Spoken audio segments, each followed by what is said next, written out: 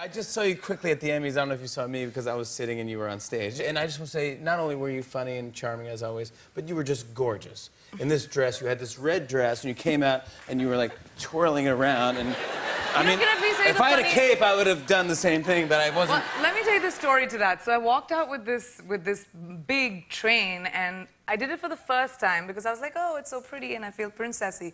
And after I twirled once, I was twirling all night. All the photographers were like, can you twirl? Can you please twirl? Then even on stage, Tom made me twirl, and I was only twirling. but that's not I'm, normally. the, I'm the twirling dancing emoji now. Have you ever seen that? I, You weird know, enough, I'm- here's, here, here There- your there- dress, because that's the way I, I did. Look at that. Like, you're not standing over a subway grate with the wind going up. You twirled to make it look like that. This was my Marilyn Monroe moment. Yeah, it really was. That's you and the. That's the emoji. That's me. I thought you looked uh, you looked gorgeous, pal. And uh, welcome. you. Uh, you've been in New York though for a while, right? You're living. Three here. months now. Well, That's great. living, Kind in, of. like I'm filming my show here. I haven't committed to New York yet. Oh no, you have to. Just move Well, here. commitment phobia. I still say I live in Mumbai, though I'm never there. But where, where do you have a home? Where do you call home?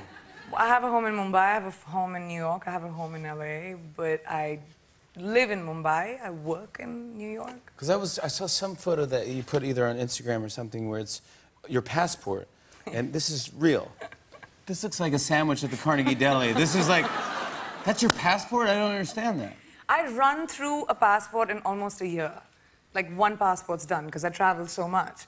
I have actually I have nine from the first time. And these are I just have five now because I have valid visas in them. Otherwise, I run out of papers to stamp. Wait, so the visas are, but aren't they like stapled in or something? No, because you have to carry the visa in the passport that it was originally given in. So I have like valid Can't you make this from- exception this one time, please? No, I'm Priyanka Chopra. I tried. You're like, look, at my this face. Hello, yeah. like-